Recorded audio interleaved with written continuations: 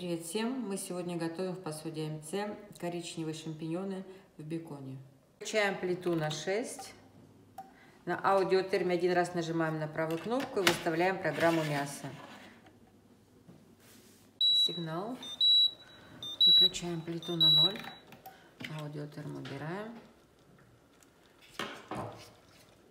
Берем емкость, перевернутую крышку и выкладываем шампиньоны с беконом. Мы уложили шампиньоны с беконом, переворачиваем плиту, включаем на две полоски.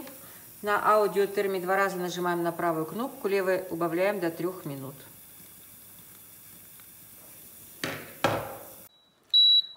Сигнал.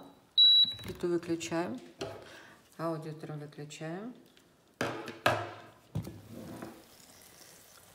Красивые зажаристые шампиньоны получились. Оставим еще под выключенной плитой минуты 3-4 постоять.